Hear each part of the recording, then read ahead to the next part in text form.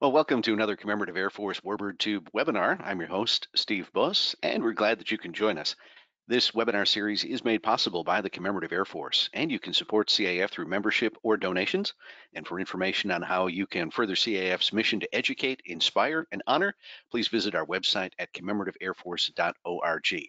Now, as you're watching the presentation, uh, this is a little unusual for us, but given the time difference between where I am and where our guest is, uh, we're actually recording this session. So as you're watching the, uh, the broadcast today, uh, if you have any questions, just go ahead and type them in the comment box, uh, either on GoToWebinar on uh, YouTube or Facebook, and we'll, we'll forward those questions on to David, and we'll get him to uh, to answer them later on, and then post the uh, results back on social media. So it'll be a little bit of a time delay, but if you do have questions that we don't cover during the uh, broadcast, please just type those in, and we'll uh, we'll see if we can get you some good answers. So joining me now uh, from uh, just just south of London.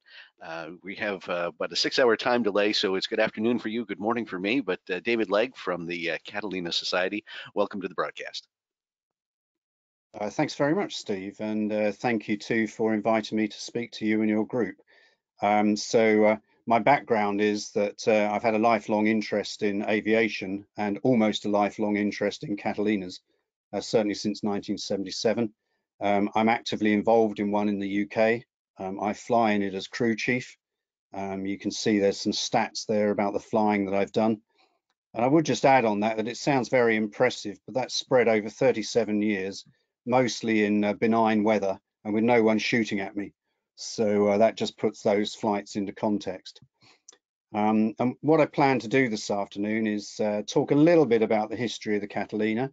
I'm very aware that uh, members of the Commemorative Air Force will be only too familiar with Catalinas. Uh, you've had quite a few over the years, and I know that you're currently working on two into one in Minnesota. So as we say in England, I don't want to teach you to suck eggs but uh, I'll give you a brief history of the Catalina and then I'll talk about our operation and I'll hope you'll find that interesting. So the first Catalina um, was actually built in Buffalo in New York. It first flew in March 1935. Here's a picture of it about to make its first flight uh, to enter into the water. And it's very recognizably uh, what became a PBY. Uh, the only difference really is the rudder shape and that changed over time. It was the one component on the Catalina that perhaps was less successful and the design was changed. And but the US Navy successfully operated um, quite a large number of them. But by the 19, early 1940s, it was pretty much obsolete and uh, co consolidated the constructor were going to destroy the jigs. Um, but Europe was at war. Europe required uh, Catalinas. And of course, the day of infamy, Pearl Harbor, meant that all of a sudden the US Navy really needed Catalinas. Um, so that picture is self-explanatory, really. Um, so the, the, aircraft was put back into production. Um, and at around that same time, the uh, US Navy decided they would like to put wheels on it. So instead of it being a non-amphibious flying boat, it became an amphibious flying boat. And here's the prototype of uh, what became the PBY 5A. So you can see it's up on jacks, um, but it's also got its main undercarriage partially retracted. So this is the prototype. And so there were many hundreds of each version built, the pure flying boat and the amphibious flying boat. And uh, well, there's a typical um, hostile scenery US Navy PBY 5A with its undercarriage clearly visible.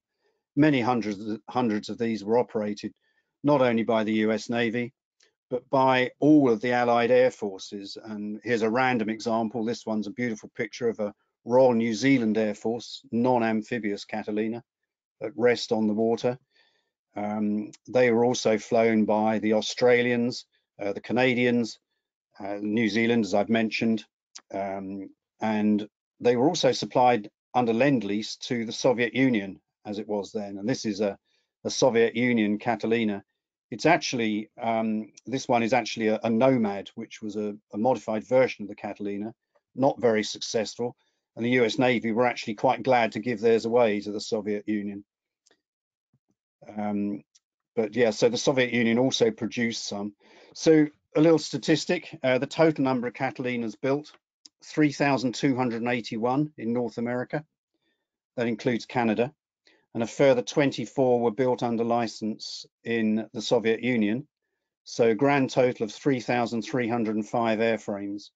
And that is by far the greatest number of any flying boat ever built by a very considerable margin. And you can see here mass production. So um, now the RAF, obviously I'm biased, but the RAF were very successful operators of the Catalina.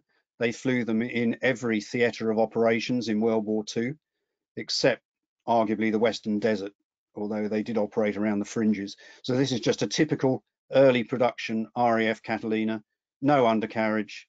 You can see the very distinctive big wing, uh, the gun blisters on the rear hull, and the bow turret. Um, some notable actions. Uh, so it was an RAF Catalina that discovered the uh, Japanese fleet heading towards the island of Ceylon, now known as Sri Lanka. And uh, the Japanese were intending to invade. Um, they were repulsed, but they were spotted by a Catalina. Uh, Churchill described that potential action as uh, the most dangerous moment. Um, they shadowed the Bismarck, and uh, famously, as many of you will know, it was actually an American training captain that was on board the particular Catalina that first spotted the Bismarck, uh, kept quiet at the time uh, because the US hadn't actually entered Second World War at that stage. Uh, it was a very successful U-boat hunter. Uh, two Catalina captains gained the Victoria Cross. One, David Hornell in the Royal Canadian Air Force, sadly was a posthumous award. The other one, Flight Lieutenant John Cruikshank, is still with us, aged 102, the last surviving Royal Air Force Victoria Cross holder. And it goes without saying that also the US forces used the Catalinas very successfully in the Pacific and in the hostile environment of Alaska. Come the end of the war, uh, there was still a vast number of Catalinas around, um, not needed in such vast numbers, however. So many of them continued in military service and were supplied to smaller air forces around the world, particularly in Latin America and the Far East. But commercial examples were also converted for various uses which the designers couldn't possibly have believed possible, I, I would imagine. And, and, I would imagine they would be extremely surprised to find that there are still examples flying in 2022. Um, here's a typical uh, water bomber uh, for fighting forest fires. There are no Catalinas actively involved in that activity now. Um, this particular one was the very last water bombing Cat Catalina to be active, and it was based in Washington State. Uh, they were also used for aerial survey uh, for seeking out minerals. Um, this particular Catalina, if you look closely, it's got a stinger tail, a magnetometer underneath the tail. It's got aerials that run from the nose out to the wingtips and then back to the tail. And uh, a lot, quite a few Catalinas were used in this role. And uh, both the water bombing and the survey roles have led to the Catalina's longevity, really. A lot of today's survivors were used in these roles and kept active until the 1980s. And that's uh, just to interject there. That's that's also where uh, a number of the B-17s that are still uh, flying and, and on display today sort of followed that that same route, uh, doing a lot of aerial mapping of. Uh, it, it's hard to imagine yep. in 2022, but after World War II, there were still vast uh, areas of the world that had not had detailed maps, yeah. and so, like you said, with the with uh, mapping and and uh, mineral rights and also the uh, firebombing. These uh, these aircraft are, are, around for us to uh, to enjoy still today. Yeah, it is amazing, and uh, we, we, owe we owe those companies a debt really. Um, I don't think they were using it with airshow operators in mind, but that's how it turned out.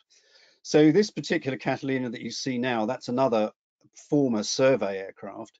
Um, and this is the the first Catalina that we operated in the UK. Um, it's looking pretty shabby. That's because it's arriving in the UK in that picture, but it has just flown up from South Africa in eight days. And uh, that's where we acquired it. Um, it had been used as a survey plane by a Canadian company in South Africa.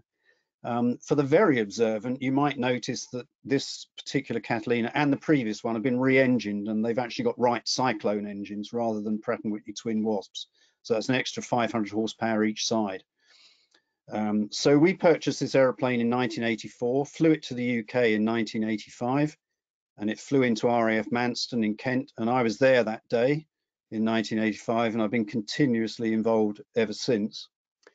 And we bought this aeroplane with the idea of operating it on the UK air, air show circuit. It was, it was acquired by two RAF fast jet pilots who fancied something different. So in very short time, we repainted it as an RAF Coastal Command Catalina. So here she is, the same aeroplane. In this particular photo, she's landing on salt water. Uh, we don't do that now, but we used to. It's very labor intensive.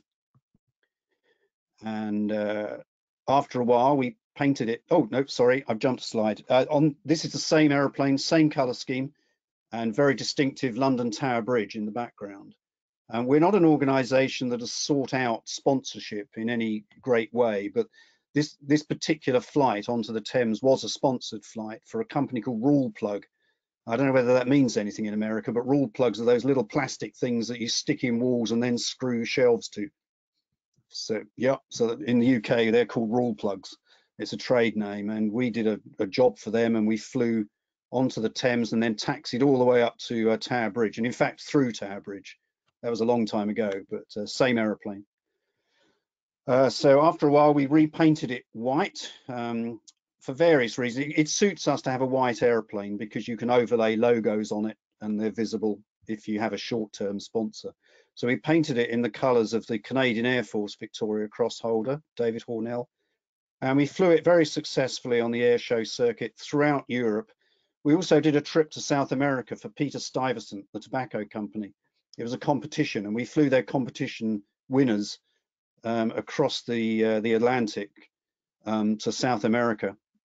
And uh, this is the color scheme that we painted it in temporarily. Um, it was a very successful trip, apart from one engine failure, which was not so great, but uh, there was no danger, no no one died, no one hurt, so all good. This is um, fantastic picture of the aeroplane on the sea at uh, Fernando de Noronha in Brazil which was in fact a war wartime US Navy Catalina base. And I think we've got one more picture. Yeah, a lovely picture somewhere in the Caribbean. So although we mainly fly air shows, that's our bread and butter work. Uh, from time to time, we do other charters, and, and this was this was a big one.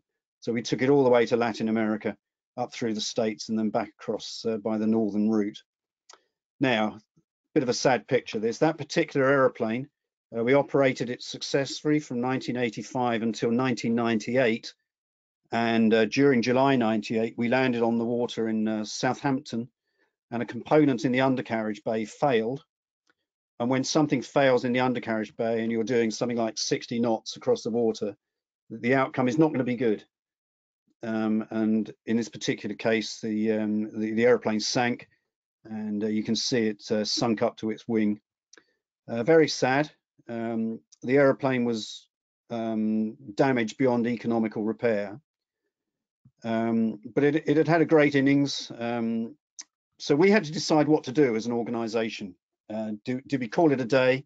Do we say, okay, we've had a great time, that's the end of it? Or do we go around again? Uh, we decided to go around again, um, but in a very different way. The, as I said, the previous aeroplane was operated by two people and all the responsibility was on them.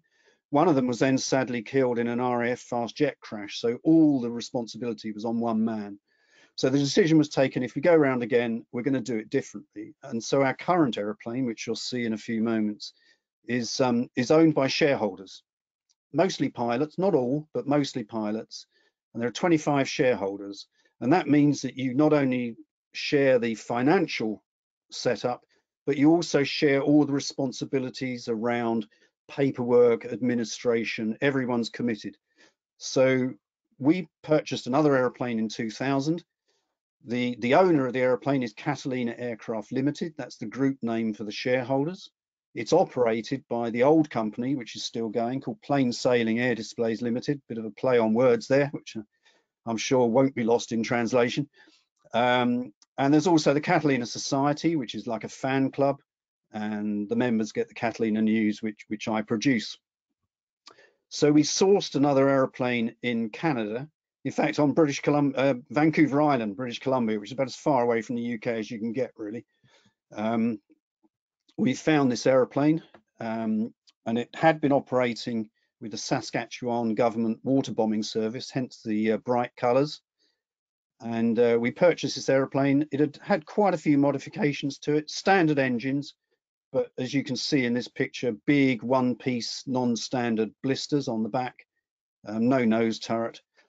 Um, so, but a lot of the work that had been done, it turned out hadn't been signed off by Transport Canada. So we had to arrange all of that, a lot of drawings to be signed off, a lot of money to be paid. But eventually we flew it to the UK in 2004 and it's been operating on the European Air Show circuit ever since. Lovely aeroplane, really good. We flew it with its Canadian registration and its old colours for a year on the UK circuit. So this is taken at a UK air show. And uh, I'm not sure how well this joke will translate, but a lot of people refer to it as the Rasta cat because of the uh, the, the colours. So Rastafarians, Jamaicans, it's kind of yeah. So dreadlocks. So um, because of the colours, the, the sure. red, yellow, and green, um, some people call it the Rasta cat, not officially, but um, so this airplane um, did a lot of air shows in that colour scheme before we painted it white. I'll explain why this particular colour scheme a little bit later on in the presentation. So we very distinctive colour scheme, um, very easy to see in the air, got lots of publicity from the media, lots of interest when we first repainted it. And um, yeah, so so basically what we do is the, the, shareholder pilots, they fly it for fun, but obviously it's expensive. You know, fuel and oil is over a thousand pounds sterling an hour. Um, so we need to be paid. So we promote the aeroplane and we fly air shows all over Europe. We pretty much go anywhere so long as we're paid to do it. Um, so this particular shot is over Iceland, where we, we went up to Iceland in 2012 to do an air show for Icelandair. A great trip. I, I took that photo. It was a brilliant trip to be on. Um, we uh, we occasionally take part in uh, fly past. So this fly past. That's coming down, in fact, Tower Bridge again. Um, we're coming down the Thames, um, heading towards uh, the west end of London. And this is a celebration for the, or commemoration of the 75th anniversary of the Battle of the Atlantic, in which Catalinas were very prominent, RAF Catalinas. So we had to fly down the Thames, but we had to follow the line. And anyone who knows what the Thames looks like vertically downwards will know that it's not straight. And there was a real wind howling wind that day. So it's quite a struggle, believe it or not, to keep in, uh, keep in the centre line of the Thames. We flew at 700 feet, which meant that we were lower than the top of the Shard, which is the skyscraper you can see just below the starboard engine there. So that was a great trip. Um, that's the River Liffey in uh, Dublin, where we did another fly pass. And you, you, can just about see us there. There's a shot from a helicopter. So although a lot of the air shows we do are standard air shows with eight or 10 minute uh, air show slots. Uh, we also take part in quite unusual events. Um, uh, talking of Dublin, this is the Catalina taking off from uh, Weston Airport in Dublin. And we did a we did a round Britain trip. Um, this was attempted in 1913 by a very very famous aviator called Harry Hawker, who later formed the Hawker Aircraft Company. Um, and he tried to do it in a seaplane, and he crashed just north of Dublin and wrote the aeroplane off. Um, we've got an Aust Harry Hawker was Australian, and we've got an Australian shareholder, and he was determined that 100 years later we would emulate Harry Hawker's flight, but not so accurately that we crashed north of Dublin. So, um, so this is us taking off from Weston. Really nice shot taken from a Hughes 269 helicopter.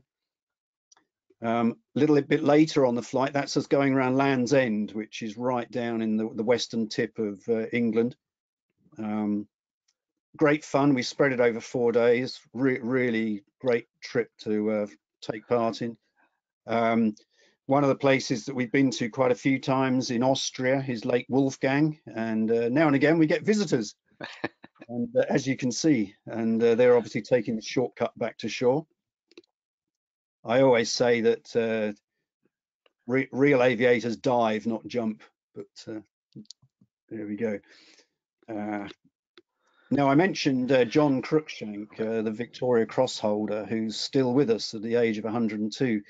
Um, he visited us uh, a few years back at an air show in his native Scotland. And uh, as you can see, the press were very interested to see him. Now, not only did he come and visit us um, and our Catalina, the, the type of flying boat that he got his Victoria Cross in, but we also took him flying. And it was an absolute honor for us to uh, take this man, very gentle quietly spoken man, take him up in a Catalina, in which he gained his Victoria Cross, and uh, give him one last flight in a Catalina. So that's flying over the River Tay at Dundee. And uh, I was I was crew chief on that day, and I'm proud to say in my logbook that I wrote under that flight, John Cruikshank's crew chief. Very nice. Yeah, why, why not?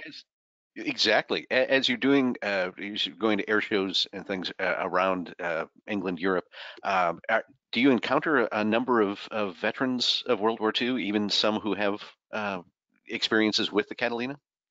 Well, we used to. I mean, sadly, Tempus Fugit, we don't uh, we don't see so many now because uh, because of their age. You know, there, there are one or two still around, and but John's exceptional at 102. But but in the early days, yes, we did, and and they told us great stories, and uh, you know we we were able to take a few of them flying back in the day, but that that era sadly is pretty much ended now.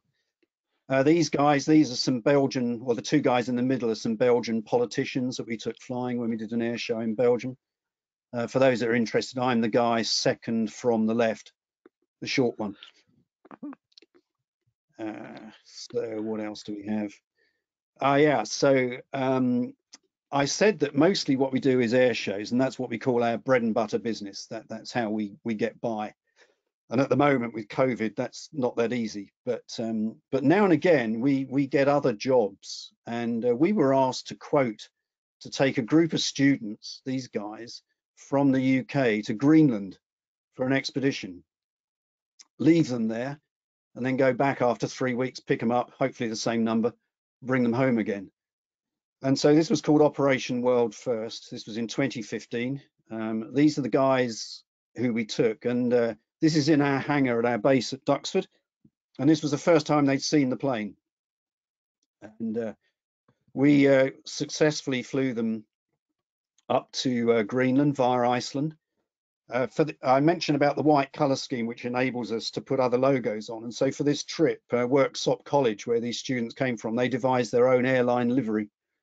And uh, so we painted the plane up and uh, flew it up there. And this is this is our chief pilot, Paul Warren Wilson. And as you can see, that's an iceberg he's flying past up in Greenland. So, you know, US Navy pilots in the Second World War, that would be grist to the mill for them. But um, for us, pretty unusual. um, but again, a really successful flight, no technical problems. We we flew them via Iceland to Greenland. We left them in Greenland. Uh, they went off in. Um, in fact, we actually ferried them out to a big lake, and uh, we took. Uh, as another view, we took them um, with some inflatable dinghies and outboard motors. They went out through the back blisters, and we left them there. We took another party out later that day, left them there flew the plane back to Iceland, and then three weeks later, flew, as I said, flew back to Greenland and uh, picked them up.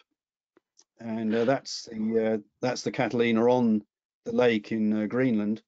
Now, I suppose it's obvious, really, but um, being a remote lake, there are no buoys to moor up to. Right. Um, and luckily, we had fairly benign weather, so we were able just to switch off and float about while the uh, the guys got out of the plane in their ribs. What uh, what was the what was the expedition? Uh, what were they what were they know, doing? Um, it's what I it's what we would call here an outward bound expedition. Okay. So character character forming. They were doing some mapping. They were doing some uh, mountain climbing, um, that kind of stuff. Um, avoiding polar bears. and basically camping out for three weeks. Um, okay. So that's a great shot of one of the one of the inflatables with us flying over and the expedition leader on the right there. So that was a really successful trip. And that kind of thing, if it goes well for us, we can make quite a lot of money out of that, which is all plowed back into the airplane. Um, now, as a group, uh, we take flying and we take uh, safety very seriously.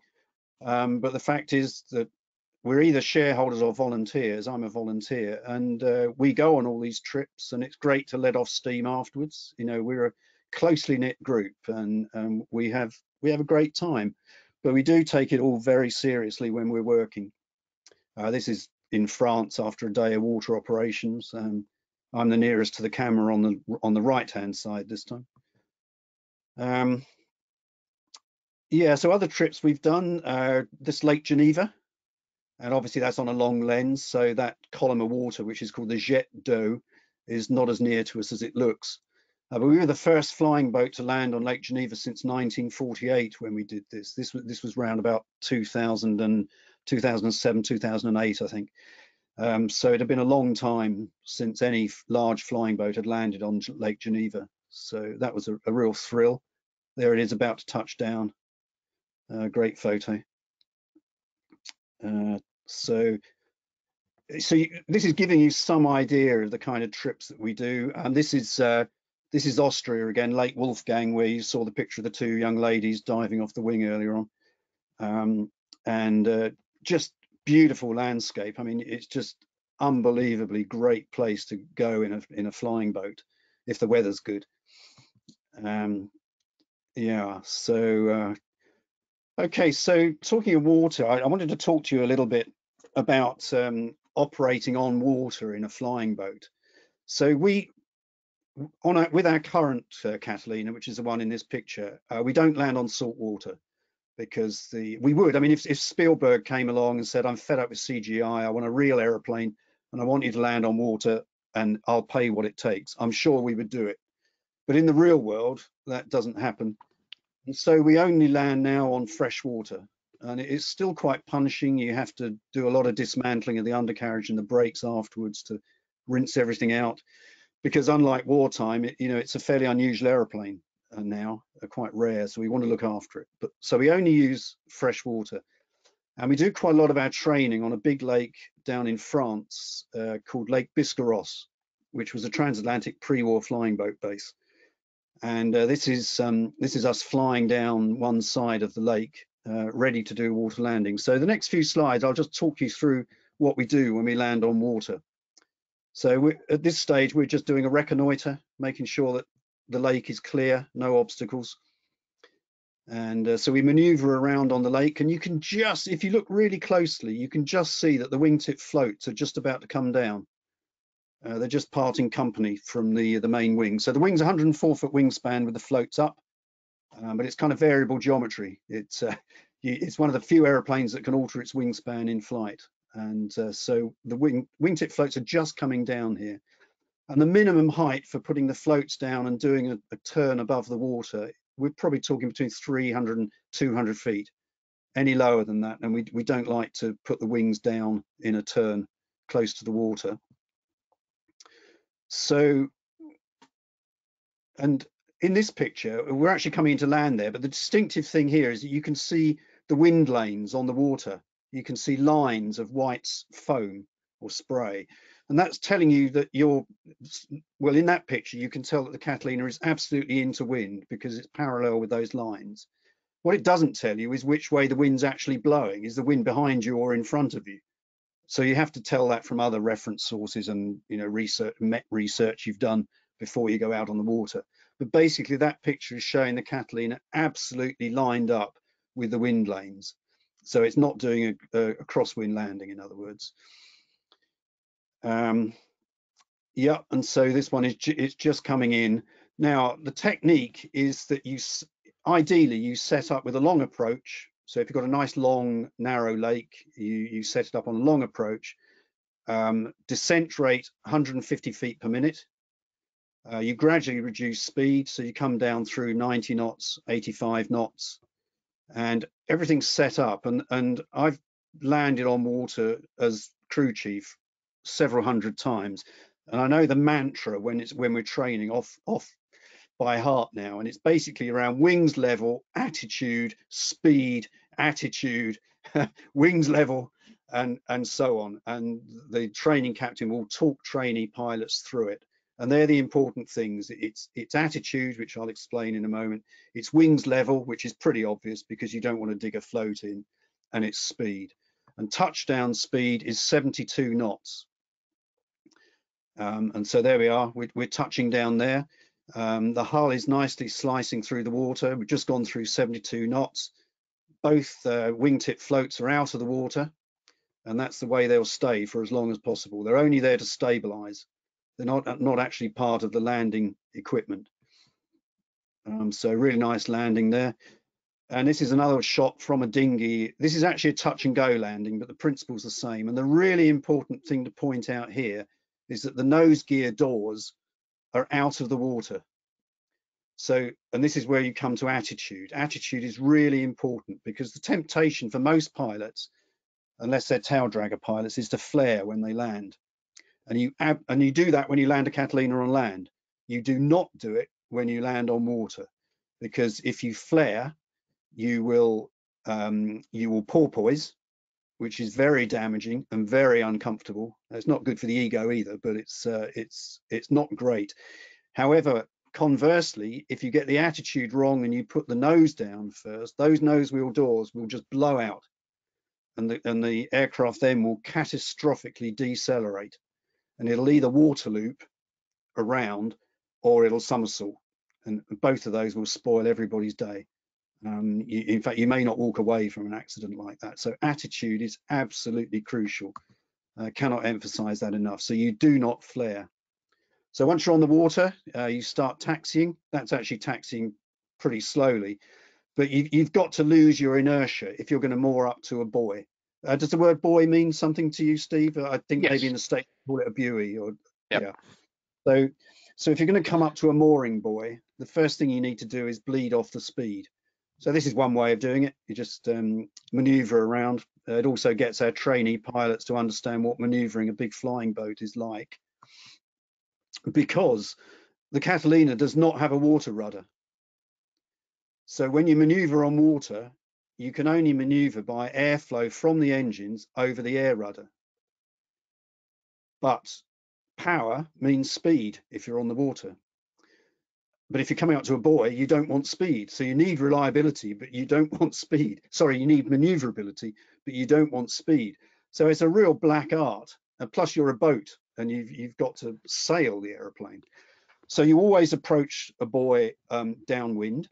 So, um, so the buoy is floating on the surface and there'll be a trailing rope from the buoy trailing across the water towards the aeroplane. And it'll just have a small brightly colored float on the end. So we'll bleed off our speed and then we'll head off towards the buoy to moor up. So in this picture, which this was not taken in France, actually, this was taken on a lake in uh, northeast Poland. Um, so that's me coming out of the uh, the circular hatch in the nose. So I've crawled between the pilot's legs underneath the instrument panel into what was the uh, original gun turret in the bow. I've um, unlatched um, a four-point circular hatch. I've popped out through the top and I'm about to, um, whilst holding on to the rim of the aperture, I'm about to slide down the side of the hull onto what's laughingly called the mooring platform, which is a very narrow metal um, shelf, if you like, on the side of the bow. So, um, so this is good fun. I quite enjoy doing this. I'm not getting wet in that picture, in the, by the way. Uh, we've just crossed our bow wave, but the, the, the telephoto lens, if you like, is compressing um, the the shot, and so I, although it looked as if I was getting saturated, I wasn't. This is literally a few seconds later, where I'm a little bit higher out of the circular hatch, and, and the bow wave has already subsided because we we've taxied across it.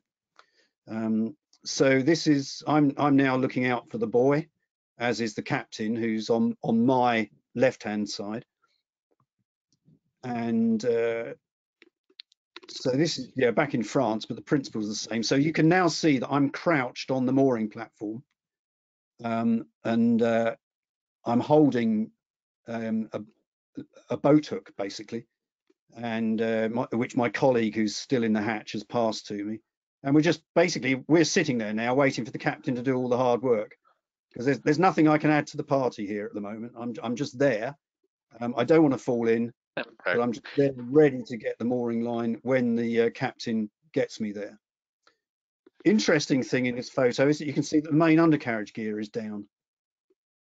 Now we do not land with the wheels down because that would be again catastrophic. But on this particular Catalina, you can you can isolate the hydraulics to each undercarriage leg. So what we do when we're taxiing slowly, because we need power but don't need speed, we can put the main gear down to act as a water brake and still have a bit more oomph and speed to get the rudder working. Um, but we don't put the nose gear down. We isolate the nose gear because you can bet your life that if you had the nose doors open, you would almost certainly foul the uh, mooring line, and which, which we wouldn't want to do, obviously. So main gear is down, acting as a brake. And, and now, so we're taxing off towards the buoy. And yeah, oh, another occasion uh, where I'm dressed for summer. I wasn't expecting to do this, and I, I, I'm ashamed to say I don't have a life jacket on. Um, I always wear a life jacket, but this was the first time I'd ever done this, and uh, I, I, didn't. I had two hours warning, hmm. so um, yeah, no life jacket. But that is not our standard policy. I said we take safety seriously. Yeah. We do. So how, here how, I am again. How wide is that is that platform that you're standing on? It's as wide as my foot. Okay. Which is why I've got one foot behind the other because there's not enough room to have them side by side. Um, so you can see I've got the boat hook in my hand. I'm sizing up the situation because it's my first ever time. I'm being advised by our engineer. And again, we're just heading off towards the buoy. And there we go. Bingo, my first time ever. I've got the line, um, but there's no time for self-congratulation because as you can see at this stage, the engines are about to shut down actually, but they're still going. We have still got forward momentum here. Um, so I've got to get that rope off of the boat hook as quickly as possible, hand it back to Gary, the engineer, and then I've got to cleat that rope around the cleat hook, which is just in front of my forward foot there, my, my right hand foot. You can see there's a cleating point, and I've got to secure the aeroplane to that point. Um, so that, that is the object of the exercise. The captain will shut the engines down as soon as he can see that I've got the rope. Um, and he will take a gamble on me not falling in or dropping the rope, which I'm glad to say I've never done. So there, there we are again. Uh, that's my first ever attempt, and uh, I'm finishing off the tying up, and the engines are now stopped. Um, so great experience, and I, have done that quite a few times now. Um, the other thing about landing on water is if you go to a seaplane meeting, you're not going to be the only seaplane there. And so once you're moored up, it's really important that you've got an exit strategy. In fact, if you if the mooring fails for any reason, say we don't get close enough to the rope, I and I can't reach it even with my boat hook, there's got to be an exit strategy. So it, it's it's a high workload for the captain. Uh, he's got to be a pilot. He's got to be a sailor he's you know he's he's really got to be very very aware of what's going on. And you can see in this picture in austria that there's quite a few aeroplanes around us um, which all have to be avoided. And so once the job is done you you end up with a cat's cradle of ropes. So that there's one rope there actually which you can't see and then there are two tied to either side. So once the aeroplane is tied to the buoy we then use two onboard ropes to tie the buoy to the aeroplane so you're secure in three places basically, and then you're secure. And if the wind changes, which it will, you will basically pivot around that buoy. Um, yeah, so that's um, that's a little lesson in uh, water operations. A little while ago, we um, we put some nose art on the aeroplane, Miss Pickup, which is a, a double entendre, um, uh, more than one meaning and uh, you can see that she just about lays on top of the water when it's calm. And there is a story to Miss Pickup, which uh, I'll relate. Um, so there's another shot, that's in Austria. Um, and you can see, you know, there's three planes fairly close to us there. Um, but we're nicely tied up, we're secure on the buoy. Um, all is good. Um, so that's that's back at Biscarrosse in France. We're actually doing a display there where there's a little creek which runs off the lake, which enables you to approach the, your display slot from behind the crowd without flying over them. So, so it takes them by surprise, which is uh, pretty cool. Um, yeah, that's same same place but different side. So you can see us coming in. We've just flown down the creek and we're about to do a touch and go on the lake. Oh yeah, now this is interesting. Take, I mean, you know, the, the, old guys they'll have done this a lot of the time, but uh, it's pretty rare now to take a Catalina up a slipway, and uh, it's an interesting experience. And I think it, you can sum up that experience by saying, once you're committed, you're committed. Um, there's no way back. So you, you've absolutely got to center line it. I mean, this one's perfect, but you can see that that slipway is pretty narrow you know, you've got a bit of scrub either side, and that's the edge of each side of the slipway. So there's not there's not any room for error there. But, um, but that's an experience. Um, we haven't done that for quite a long time now, but um, yeah, we've done it in the past. Another picture. Um, and again, you can you can see from those two cleating points that there's not a great deal of room um, either side of the undercarriage as you come out of the water. I think there's one of it going back in. Oh no, no, it's not. Okay, so one of the crew chief's jobs to empty the bilges. Um, so uh, there are 13 um, hull plugs which have to be removed because uh, all boats leak. Flying boats are no exception. Uh, we have onboard bilge pumps, but um, water can build up in some of the inaccessible places. So that's that's a job of mine. Oh, there we are, going back in. Lovely photo.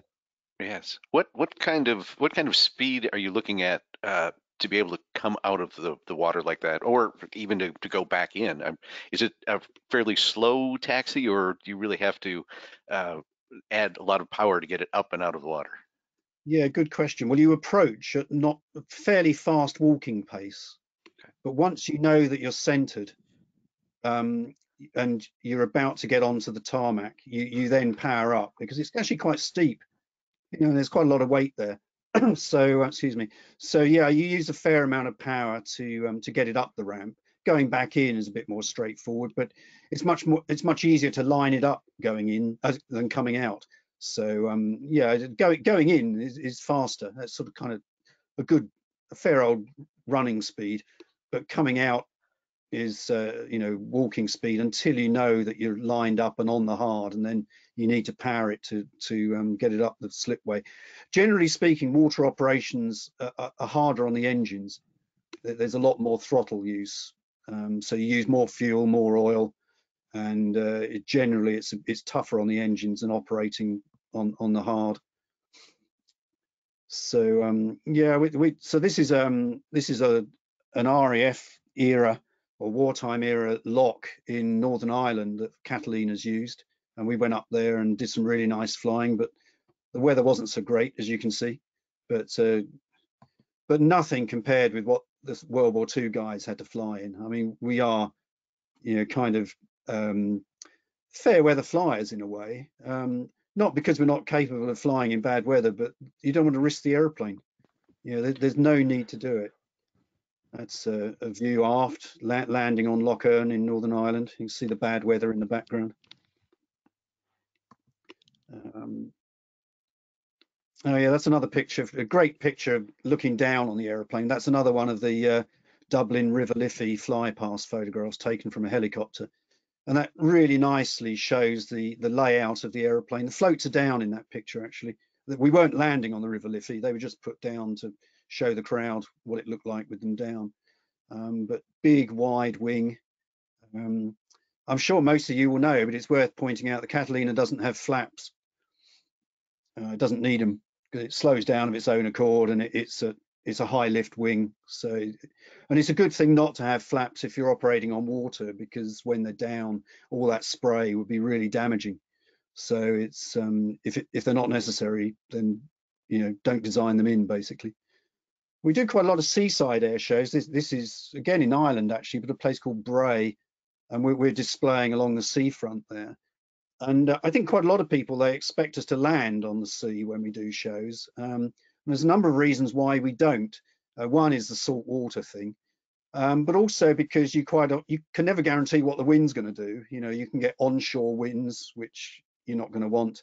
Um, you also, although there aren't any in this picture, um, you often get quite a lot of spectators in boats, you know, and they're just going to get in the way. So, although in a way it would seem to be an obvious thing to do to land on the water at a seafront air show, um, uh, we don't. But lakes we do and uh, now and again like the one in poland we we landed on the lake there and everybody could see us. Oh well that, well, that neatly illustrates my point about the boats because that is the display area. We're flying down the display axis there and it's absolutely full of boats so there's no way that you could land anywhere remotely near the crowd. So there's no point in doing it but you can get down low and it, it looks terrific there's another one it's a great um, coastal air shows are a great environment for flying a big flying boat because you can maneuver it so that the crowds see it from every angle. Yeah, another one.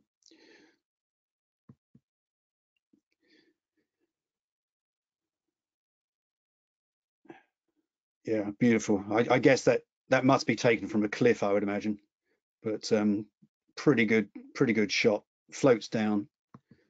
Um, so we try and display the aeroplane to the best of our ability so that people can uh, see it from all angles. Uh, so we, we tend to do a figure of eight racetrack pattern. And about two thirds of the way down, we'll put the floats down so that the crowd can see the change in um, setup. And then we'll put the floats up and put the gear down so that they can see the two aspects of, of the way it can land. So we, we, like to think we give our money's worth. And uh, obviously these air show posters, you know, they, they've majored on the Catalina. Well, certainly two of them have there. Uh, the other one's got a beaver there as well by the looks of it. So we're a very popular air show act when there are air shows to go to. I'll come to that again in a minute. So I mentioned Miss Pickup um, and uh, the double meaning.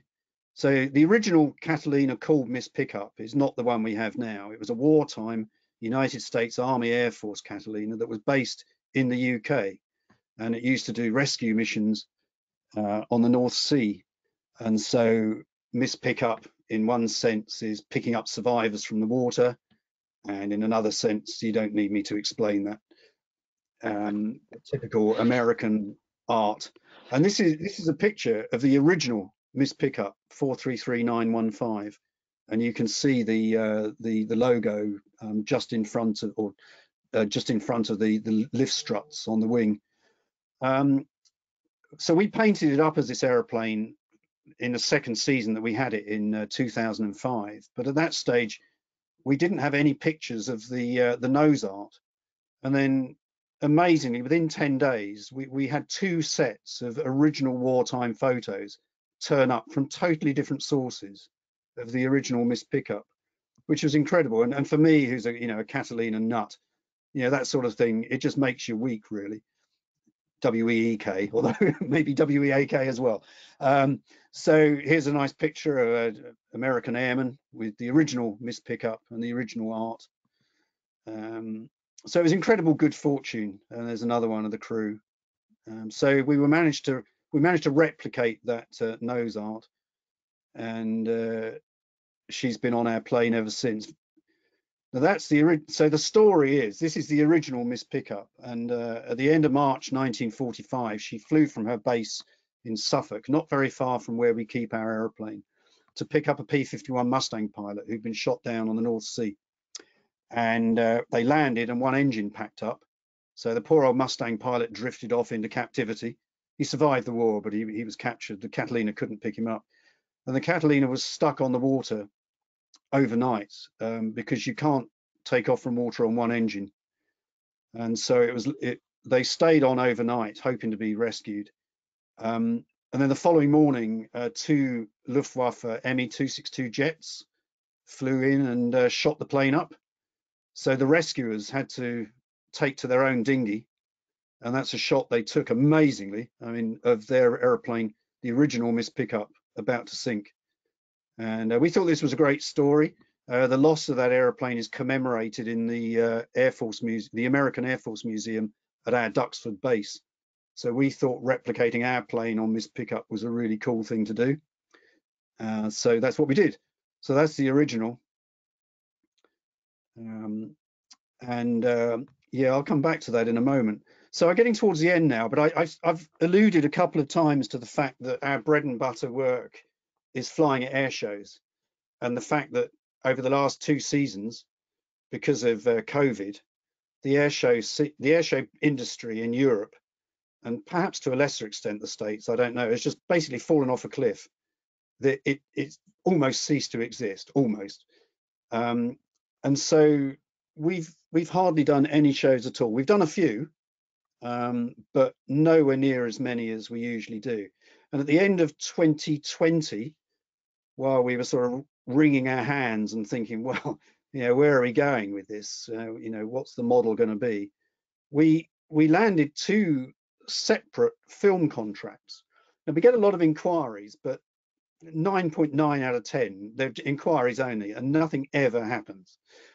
And uh, but in 2020, in the autumn, we had two contracts or two inquiries in a week that both turned into firm contracts. Absolutely amazing. And we jumped at the possibility because, or the opportunity, because it meant money. You know, it meant making up for all the lost income from the absence of shows. So the first filming we did was at a very famous RAF airfield called RAF Halton in Buckinghamshire. And it was for an American series called Pennyworth, which I have to say doesn't didn't mean much to me, but apparently it's a Batman spin-off and I'm sure some people who will be watching this in a few days' time, it'll mean something to them. It meant nothing to me at all, but they wanted us to do some filming. So we went to Halton and you can see there's all, all this paraphernalia in the background, film guys all wrapped up in their big puffer jackets. And I don't even know what that thing in the background is. I don't know whether it's a light board or a soundboard. I think it's a soundboard. But anyway, we spent the best part of a week there. It's really hard work doing nothing but but you know we, we we just had to move the plane from time to time and it always had to be in exactly the same position for continuity. And we we did one flight for them one five minute flight. Everything else was on the ground. But that was all done. Absolutely brilliant. Um, job done. All paid for. Um, so then we immediately went up to Scotland to um, Loch Ness um, for the second bit of filming um, so we, we flew from Halton to Duxford, did a partial crew change. I was lucky enough to be on both crews, so I was very fortunate. Flew it up to, Loch, uh, to Inverness. And then the next day, uh, we did some flying training on the loch, which is an amazing place to land a, a seaplane. Uh, you can see the, the kind of terrain that's in the background. Absolutely awesome. So we did some we did some training um, yeah, another great photo taken from someone on the on the, the hillside there. Um, really tremendous um, stuff. Uh, that's flying down the loch. That's our chief pilot.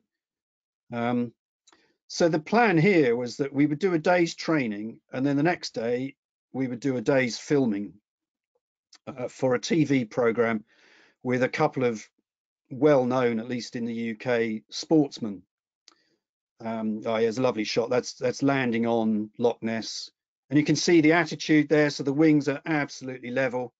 The nose gear doors are out of the water. You're just putting the back end of the keel on the water and then decelerate. So everything's great. So the next day we we went filming, and these are our two guys in the in the industry. They're called the talent. I didn't know this, but they don't call them actors. They're the talent. And, and, these two guys, Jamie Redknapp, who's on the left, and Freddie Flintoff on the right, they're both sportsmen. Um, Jamie Redknapp's a footballer, and Freddie is a, an ex-cricketer, and they, have now turned into, well, TV stars really. And they were doing this thing called the Loch Ness to London Challenge. And the first part of it was that we would pick them up on the loch, they'd pile on board, we'd go flying, we'd land a couple of times, and then we'd land on the loch, I would open up the side hatch, I'd order them off the aeroplane, and they would literally jump into the loch. They had uh, wetsuits on underneath these trackies, and they would swim to the shore. And that was it. And we had a film crew on board. So everything was great. It was all briefed.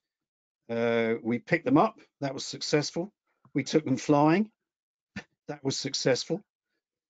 They got off the plane and jumped in. I ordered them off. That was successful. We then taxied out a little way to get rid of the, the film crew on board. And each time we, people got off, we had to shut the engines down because the engine's are very close to the hull. So we got rid of the film crew, pressed the starter button, starboard engine, no go. She wasn't going to play. So here we are on a Scottish loch, very, very deep, very, very long, nowhere on the face of it to moor nowhere to beach it, certainly nowhere to taxi out of the water. It's one of those, what the flipping heck do we do now moments. And I, I was on board, I was crew chief, there were two pilots, myself and one remaining cameraman. And we were stuck on the loch, luckily in fairly good condi uh, weather conditions and nowhere to go. Um, very strange feeling. Um, Now I've mentioned our beautiful one-piece blister turrets at the back. The, the back, the black rib in the background of this photograph.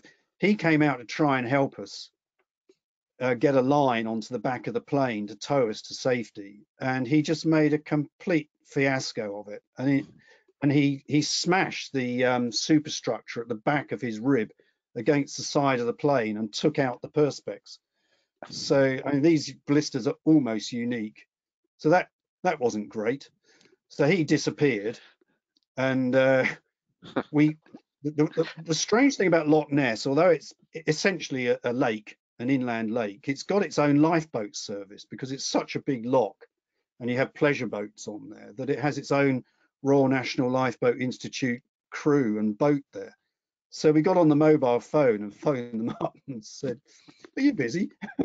um, come and rescue us." So this is almost like a, a, rerun of the original Miss Pickup on the North Sea. We're a Catalina rescue plane that needs to be rescued. So we called up the RNLI and uh, they came out and eventually they got a, you can only tow a Catalina backwards on water. You, you can't tow it forward because it fishtails all over the place. You, it, it just, it's really difficult to do unless you've got a really big boat. So they eventually got a line on the tail. They towed us backwards and all the time it was getting darker and, and they, they knew where there was one mooring buoy in in Urquhart Bay. So they towed us there. It took about an hour and a half to get us there, by which time it was pitch dark. And uh, they just had a small searchlight on the on the lifeboat. And with their help, I moored it up. And we had to leave it on the loch. And then think, where do we go from here? So we thought it was a failed starter motor. Relatively simple to change on the water, provided you got the right equipment. So our engineer went up there, changed the starter motor, pressed the starter button, nothing. So at this point, we know we've got a really big problem. We've got a plane on a loch which can have very changeable weather. And so, well, you can see what the result was. The only way around this to, was to do a, an on-site engine change, but off the water. So we had an 80-ton uh, crane that came down the little lane that runs in front of these two houses, and uh, we we had to lift the aeroplane off off the uh, the loch onto onto the um, that tiny pier. I'll just go back actually to that picture if that works. You can see there's this tiny pier where the crane is, and eventually uh, the Catalina ended up perched on that pier with the tail sticking out over the water. And uh, we did a complete engine change on on the starboard side and then got it put back onto the water and flew it home. And this whole exercise took about six weeks. Wow. Uh, cost a lot of money. And, and I would say at this point that we just as an experiment, we tried crowdfunding and 900 people contributed a total of 31,000 pounds. Absolutely extraordinary. It just yeah. it somehow captured people's imagination. We wouldn't have believed it was possible. We only did it as a, as a test, really. And so yeah, so that's Miss Pickup, and that's the, the damage. It turned out was an accessory drive shaft, which links to the starter motor, and you can see it's fractured. So there was absolutely no way that that engine was going to going to start. So um, so yeah, that was our our year of lockdown and Loch Ness, if you like. Um, it was it was a sorry end to a brilliant week. The good thing was we finished the job, so we got it, failure happened right at the end, so we got paid, but then we blew it all away on um, having to fix the aeroplane. so that's, I think yeah. that is the last slide. Oh, maybe one more. So yeah, that's just a bit of publicity if people are interested. That the website for our society. But I hope that's given you a kind of taste for not only the original background to the, the, the Catalina, but our organisation, the fun we have, the challenges we face, um, it, it is just amazing. And I'm sure that when the plane was designed in 1934, no one would have dreamt that in 2022 there are still roughly 14 or 15 flying in the world. Um, we're the only one in Europe. But um, so yeah, there we are. That's that's us. That's me. Uh, yes. Uh, thanks very much for the opportunity to talk to you. well, good. Well, uh, some questions actually have have popped up uh, as mm-hmm. as we're uh, going through the, the, presentation. First of all, with the last um, kind of story of the engine change uh, at Loch Ness, uh, how do you source uh, how do you source parts and even information, technical information for making repairs or even uh, building uh, new parts for the airplane? Sure. Um, technical information is not so bad. I mean, we've got all the original manuals, so everything's pretty well documented. Engine spares, again, not really a problem because um, they're Pratt & Whitney twin wasps. They were built, I think, probably the most built engine of any type. I, I don't quote me on that, but I mean, they must have been built in their hundreds of thousands and DC3 engines, there's lots of them around. So engine spares are pretty easy to get. We use a, a, brilliant engine shop in Idaho of all places. I mean, a long way from the UK, but they, they do all our major overhauls. We do everything else, everything routine we do in-house, but major overhauls and fault finding like on that engine, uh, they go to um, Anderson Aeromotive in Idaho. Um, the problem with spares is tires are notoriously difficult to get and airframe spares. So if, if that uh, dinghy had smashed the side of the hull and not the blister, it would have been a difficult task to replace the stringers and the longerons that, that the aluminium skin is fastened to. So it's basically a skeleton frame of an aeroplane, and and those um, those components they're quite complex um, folded metal. And you know we just don't have the equipment to to make that anymore. So that that can be quite difficult. Um, but everything else we fabricated emergency exits on the plane and that sort of stuff. Um, so we've got a lot of in-house knowledge but we know where to go if it's beyond us uh, it, with throughout your presentation, I don't think there's there's a way to take a bad picture of a Catalina. Uh, it, it's just a, it, it looks great in the water and and in the air. And it, is that part of the appeal of the airplane? I mean, it didn't have a very um, I, I, guess glamorous role uh, during the war. A lot of a lot of searching, search and rescue, obviously, but um, you know, hunting for U-boats, things like that. It was not a say a sexy fighter like a a P-51 Mustang or or a Thunderbolt. But why do you think the the Catalina just remains an airplane that people just love to see? Yeah, well, you're right in what you say. I, I think I think because it's fairly unusual. I mean, there, there are very few flying boats, flying air shows anymore. So people sit up and notice it. It's depending on what angle you look at it, it, it's either a little bit on the ugly side or it's a little bit on the on the uh, graceful side. And we try and emphasize the graceful side. So you know the fact that it's white it makes it look distinctive. The fact that you can you know you can keep people entertained because you can put the floats down and you can put the gear down. Um, it's the other thing is we can fly we can remain fairly close to the crowd when we're doing a show. You know we, we don't need miles of airspace to turn around it, it, can it can actually turn around pretty tightly. Um, so you know we can maintain people's interest when they're watching it, and it's and it's quite a big airplane as well. So you know you, you, can only put up with so many Spitfires and Mustangs charging around the sky, and then it's nice, you know, great though they are. Um, it's really good to see something different, and and there aren't that many. I mean, in the UK we we've got a Lancaster and we've got a B-17, so we've got we've got the you know the big four engined airplanes but big twin engine airplanes there aren't that many now. We don't have any mitchells currently active in the uk for example. So um yeah it, it's popular. People stop what they're doing to watch it usually which is great.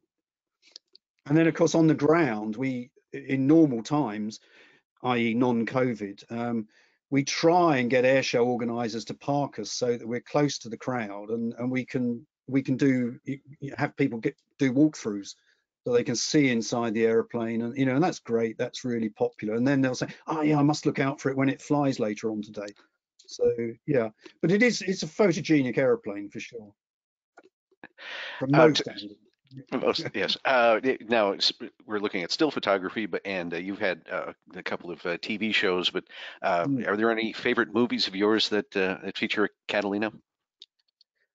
yeah, I guess. Well, I guess the classic one. Um, is the, the, remake of the film called Always, which has got the famous um, opening sequence where the water bombing Catalina drops down onto a lake and there's two old guys semi-asleep in their little fishing dinghy, and they suddenly realise this Catalina's boring down on them. Are, are you familiar with that one? Uh, yes. Yeah, so I mean that, that it's on Facebook all the time, um, but yeah, that's a good one. Um, I, beyond that, I mean, yeah, there's Midway. I, there are some that aren't so great. Um, but I did an article actually for our magazine some years ago about PBYs in films, and it's quite surprising how many there are. Um, not not so much recent ones, but uh, yeah, there's quite a few old films where they they featured. Yeah. What about uh, corrosion? I, I, know you mentioned that you don't land in salt water uh, anymore, obviously for uh, corrosion issues, but just being in water itself, uh, how I mean, how long can the airplane actually stay on the water before you really have to start worrying about uh, corrosion setting in? Um, well, fresh water generally isn't corrosive, um, but we, we we very occasionally leave the aeroplane on the water overnight. Uh, when we used to do that uh, show out in Austria that I mentioned, um, it was an evening air show, so um, we would do our slot and then land on the water and leave it there overnight if the weather was good, and that that's fine. But you just you don't want lots of water sloshing around in the hull because if it builds up, it's heavy apart from anything else. Um, and it you, you just don't want it there. So, but it but in itself, fresh water is not corrosive, but it does it does get in everywhere. So you know people familiar with the Catalina will know that the main undercarriage sits on the the outside of the plane basically when it's retracted. You know, it, it, comes in two big apertures on the side of the hull, but it's basically all open. So all that brake mechanism, you know, and the and the the brake discs, you know, they all have to be dismantled. Um, but it, but times are different. You know, as I say, you go back to the veterans who flew them in uh, the, the, the Second World War, and and they would say, well, "What's the matter with you guys?" You know, and they, they would leave them on the water for a long time. But I I would just make the point in return to that. Yeah, but there were 3,300 odd of them built. You know, they're pretty rare now.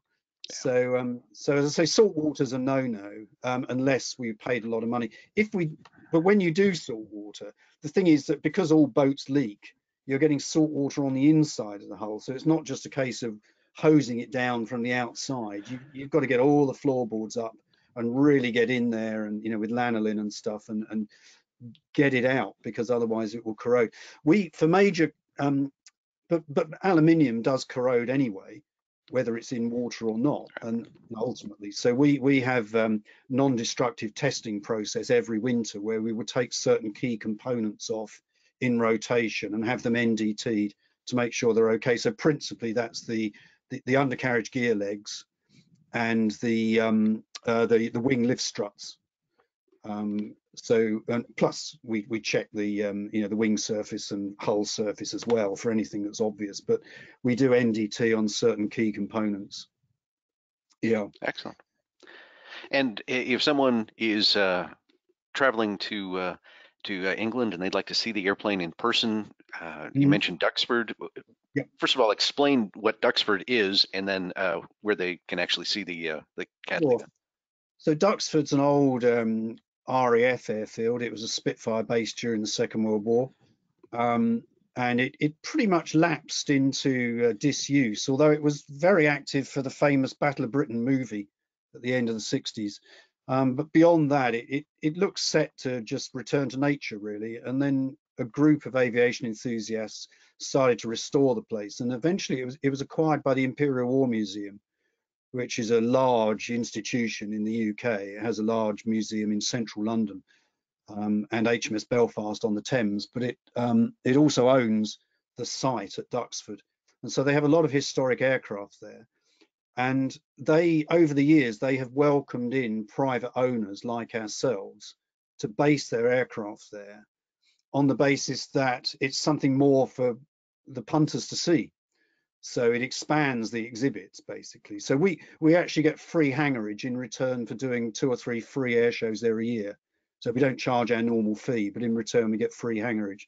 So we have a very good relationship. So in the winter, uh, the Catalina will be there in the hangar um, being worked on and it, it's visible to the public, although they can't go inside it when it's being worked on.